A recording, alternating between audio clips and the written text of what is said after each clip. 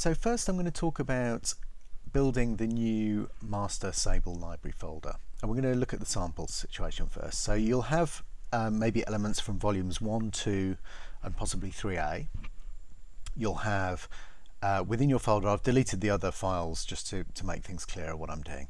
You'll have a samples folder, a master samples folder, um, and then you'll have um, elements that you might have downloaded like the stereo mixes, the main mics. Some people won't need the surround mixes, but there could be things from, from all, all four of those in there.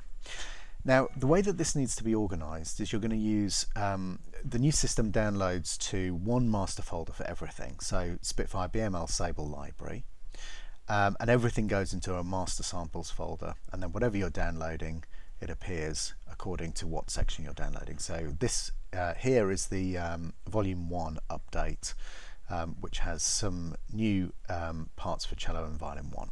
So for our existing Sable library folders we're going to combine them into this folder structure. It's basically the same for each set of mics or mixes. It's uh, alphabetical order bass, cello, viola, violin 1, violin 2 and then within there you'll be able to see things um, elements from volume 2 in this case because these are the basses um, from volume 3 I've copied in some stuff from volume 4 already into this folder.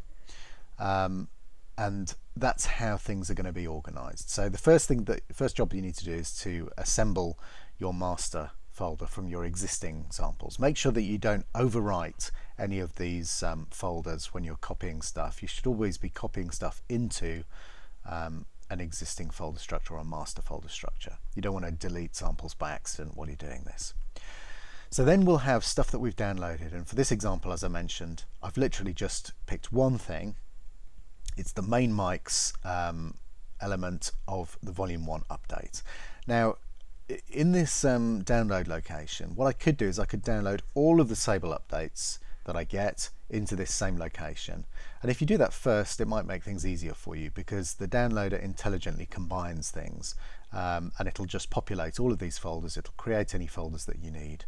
And then you'll have a whole load of stuff ready to copy over. But for this, for the purposes of this demonstration, we'll look at um, how things appear um, for just this one element. So you'll get your main library folder, which will be the same as your as your newly constructed master folder that you've made from your existing stuff.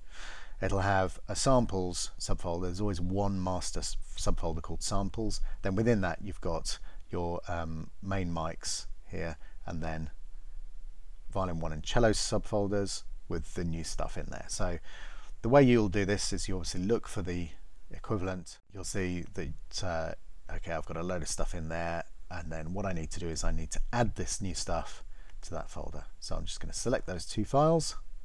I'm going to copy them over into the correct place and then after a few seconds they will appear down here.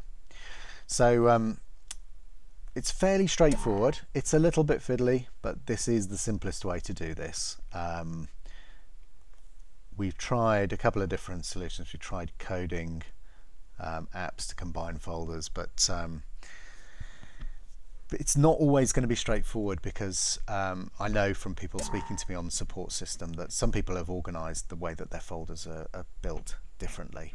And the best way to do this now to make this into one master product, especially as we as we add bits onto it, and um, with this with this fantastic update that we've got coming out now, this is the best way to do it by hand. Um, you only have to do it once, and then it's done and then everything that you can copy in is um, nice and simple. And also it means that your new uh, instruments files that you download um, will be referencing all of the samples in the correct place. You won't have to batch resave and any of that kind of stuff.